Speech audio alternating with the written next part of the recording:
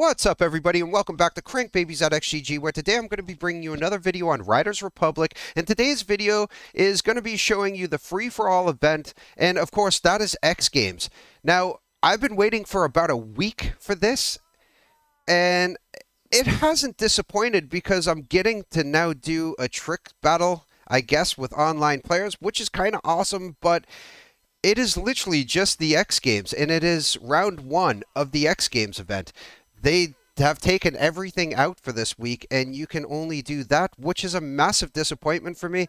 I think they should have incorporated that to the free for all events, but not got rid of everything else. I mean, doing the same thing for a week is going to be pretty boring. Anyway, that's just my opinion. Now, I know it says win every time in the title. Winning every time is going to come down to you, but I am going to show you the line. I mean, it's up to you to get the perfect landings and everything, but I am going to show you the line and give you the walkthrough on how to pretty much do the best line you can do in the X Games round one. And let's just go over here. Uh, if you didn't know, this is where you spawn in, just in case you're new to the game. You spawn in there, and of course, to get to free-for-all is basically over here. And you just get inside this yellow box, click the A for free-for-all or whatever controller you're using. Click the button to go into free-for-all, and I'll catch you guys in there. Okay, so we're on the gear select screen.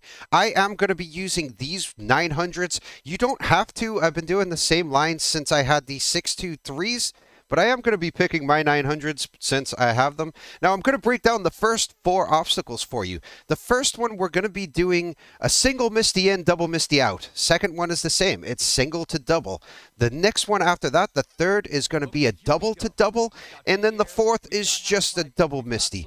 Now, play around with this. I'm not great with skis. I generally do this on a snowboard, but the rotation for some reason in the free-for-all is not the same for the snowboard, and I don't know why. I can't seem to hit these doubles, and I wasn't hitting the quads at the end, which I'll go through when we get there. But this is the single in, double out, and we're going down the middle all the way here. And we're going to go single in again, double out, hopefully. Well, this is a perfect opportunity to show that this does still have backtrack. I wish they didn't have backtrack in this, but we're going to single in, and we're going to double out. Now this one's the double-double. And of course, this last jump is just a double misty. It doesn't really matter. We might hit that. We might not. Now, these are... This is going to be a quad. Misty. And hopefully we land that perfect. We did not land it perfect, but it was still pretty good. This is a triple. So these last three jumps is quad, triple, quad. And I'm going to hit this one with another quad finish. Hopefully. Now, if you have any tricks left at the end here, use them. Absolutely use them. Everybody else is going to. It is a competition, and hopefully we've got first place here. If it's not a first place, it's definitely going to be a podium finish. Most people don't get anywhere near 200,000. Now, you can roughly look to getting anywhere near 180,000. I mean, you could see second place doesn't even have 180,000 but somewhere near 180 generally gets you into the podium anything 200,000 plus. Now, I know people can hit 214, 215,000. I know they can, and it comes from the first jump on the first obstacle. If you go fully to the right and you hit that one, you can do a double misty to a double misty out. Uh, it is extremely hard to do, though. So this is why I'm not showing you it. It's pointless. You can still get podium places going straight down the middle. You will have to work on your landings. We want perfect landings as much as you possibly can.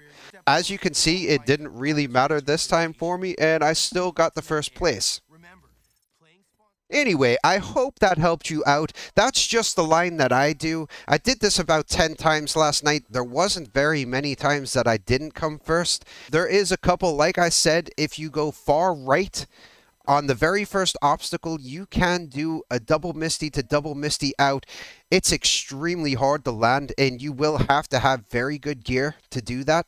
If you don't have the best 900 skis or snowboard, I wouldn't even consider it. Just stay down the middle, and I'm going to take you through it again. It is a single in, double out for the first one. Second is single in, double out. Third is double double. And of course, the fourth one is just a double misty. And for the three jumps at the end, we're doing a quad misty, triple misty, quad misty. Now, if you want to know the tricks that I use for that, it is basically I hold.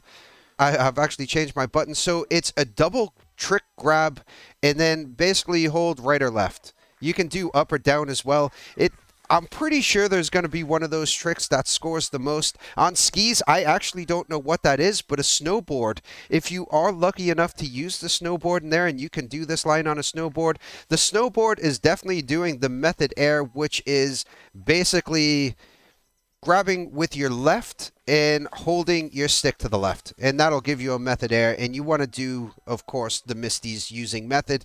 That for me always gives me the most points. I'm not 100% sure on that but it does seem to be that way for me.